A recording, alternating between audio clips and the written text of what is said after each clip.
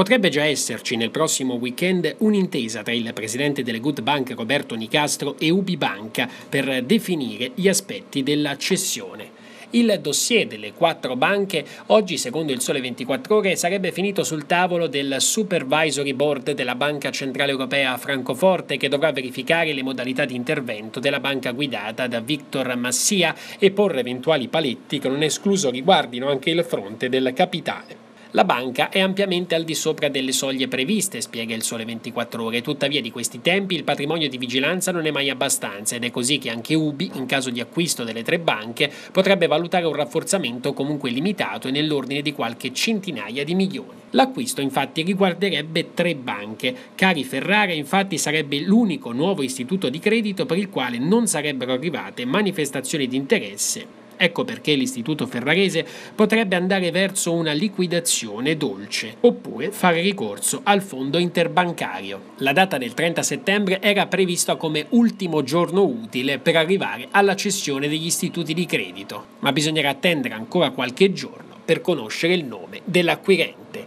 che salvo colpi di scena dovrebbe essere proprio Ubibanca.